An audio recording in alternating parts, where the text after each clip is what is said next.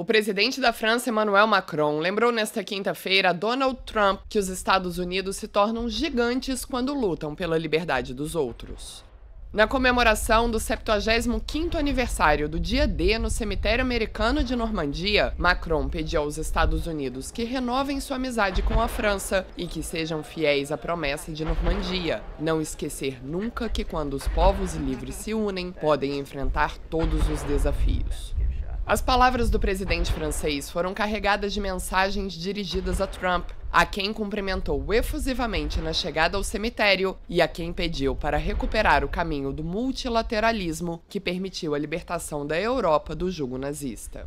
Já o presidente americano Donald Trump elogiou os laços de seu país com os aliados e afirmou que esse vínculo é inquebrável.